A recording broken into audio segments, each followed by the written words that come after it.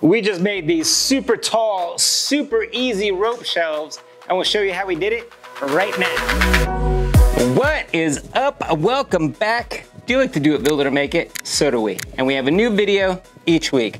This week, we're taking it to a whole other level with some rope shelves. We're gonna hang them high. We are gonna hang them high. They're gonna start at about eight feet. Is that Yeah, what it was? Maybe foot. just a little above that. Anyway, these are gonna be some shelves for our front room. We needed a place to display some of our door rounds and some of the decor that we'll be doing in our workshops. And so I thought this was a great piece to add to that room. We've done floating shelves in the past, but we've never done rope shelves. So I'm excited to try this this week. Step one, we're gonna gather all of our supplies. We needed two one by tens by six foot.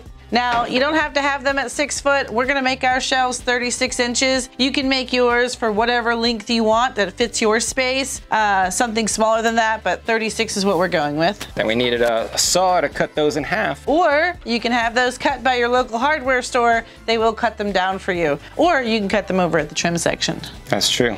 We needed a drill with a 5 8 inch paddle bit so we could put the holes in so the rope will go through. And you need some rope. I'm using half inch rope. You could use up to one inch rope. I really wanted one inch, but I couldn't find it, so half inch will work. And you'll need about two sections at 18 feet each. We needed some measuring tools. We have a speed square, a tape measure, and a ruler. It's a lot of measuring. And you'll need some stain or paint. We'll be staining ours today. And uh, that is it.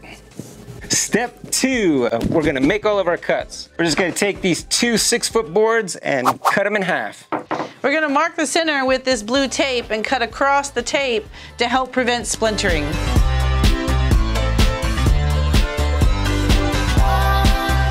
Okay, my blade is one and three eighths inch off of the edge of the cage around the blade. So I'm gonna measure one and three eighths inch off center and I'm gonna put a ruler down to use as a guide.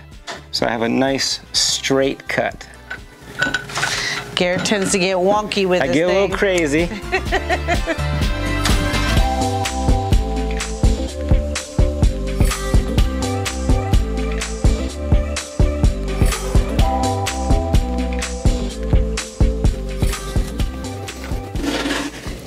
We're gonna tape off where we're gonna drill the holes so we also get a clean hole, no splintering. Well, less splintering. Yes. We're gonna measure in one and a half inches from the front or the back of the board and two inches from the side of the board. Next, we're gonna drill the holes for the rope. They're gonna be two inches in from the end and an inch and a half in from the front and the back. We've marked them and I'm gonna drill with this bit and I'm only gonna go through the front side until this little tip pokes through and then I'm gonna flip it and drill from the back side down. That helps prevent splintering. Otherwise, if you go straight through, the backside splinters really bad. Trust me, I know.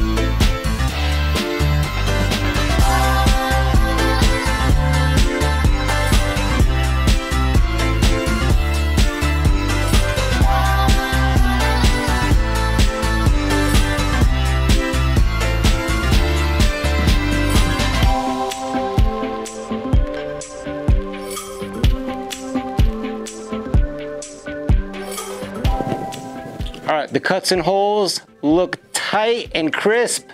But we think it needs a little bit of sand so it'll accept the stain a little better.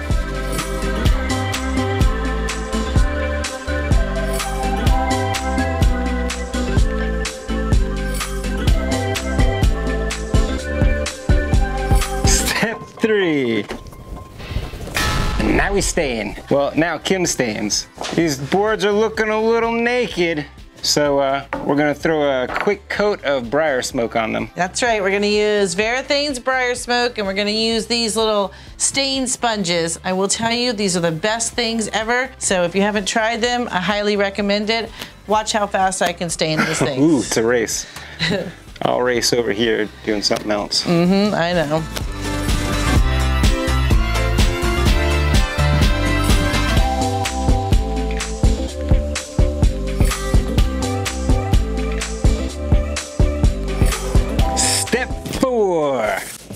We go lasso some cattle. Actually, we're just gonna assemble it. We're gonna bring it all together. We're gonna start by folding the rope in half and tying a loop at the top. Don't look at Garrett's. His is a bad example. As we got ready to film this segment, I saw his tied in a knot and I knew I knew that's what you were about to do. You knew you shouldn't run because I would lasso you by the leg.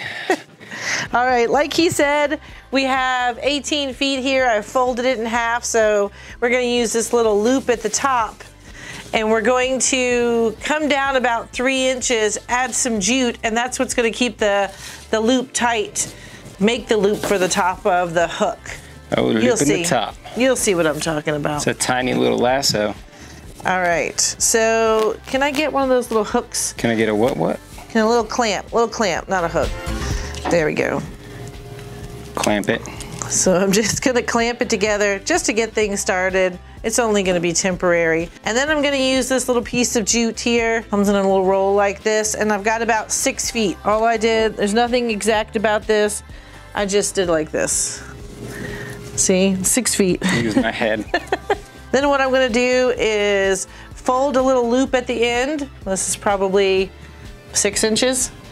I'd say six inches. Lay it down and start wrapping our string around it. Now that I've got it started, I can take this clamp off Got the clamps. and then just loop it on around. This should give you about two inches of tie. Again, does not have to be precise at all. If anybody starts coming at it with a measuring tape, I'll distract them real quick. hey, look, I forgot to paint the bottom of that wall. All right, now, now that we have our little end, we've got it like three inches left on the end. We're gonna put it through the loop that we started with and take the little piece that, that we started with at the top here. And we're just gonna pull that through. Pull them through to the other side. No, about halfway, I'd say, just like that. And then we're gonna snip this and snip this. Oh, look at that. Now we have our little tie. I can go uh, lasso some mice. All right, are you gonna do yours? Oh, do I have to do mine? I started it. So I fold it in half, like six inches. Mm-hmm. I'll just put that up here. Uh-huh.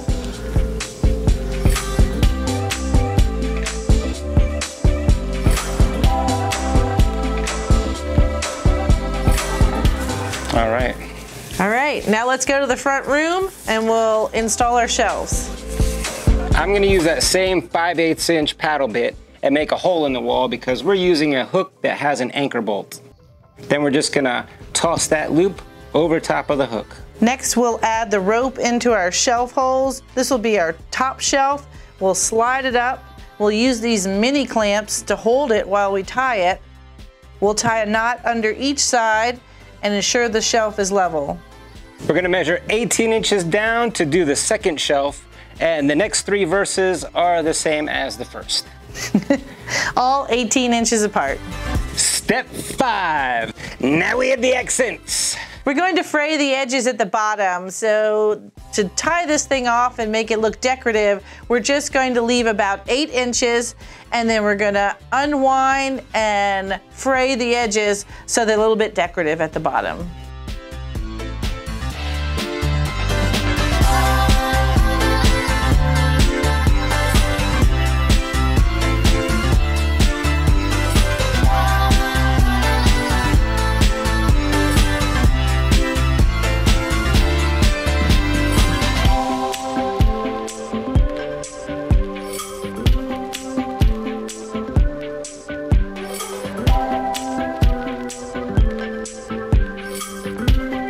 Right, what'd you guys think? I was definitely taller than I thought it was gonna be. I think it's exactly what I wanted it to be. I wanted to hold these door rounds and display them this way, and I think it's doing a great job of it. How would you make it differently? I think it's great. It could be painted. There's just lots of options with this thing to make it match your decor. So many different choices on the rope, the boards, the paint.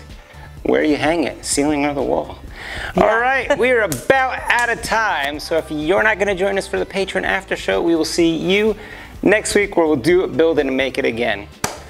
Uh, they're already on the wall, so I can't balance them. Nope. Be right back. Hold on. Oh my goodness. Oh my goodness. Coming in. Here he comes. Wait till you see this. Yeah, back in. back in with my step stool. It's a real circus around here.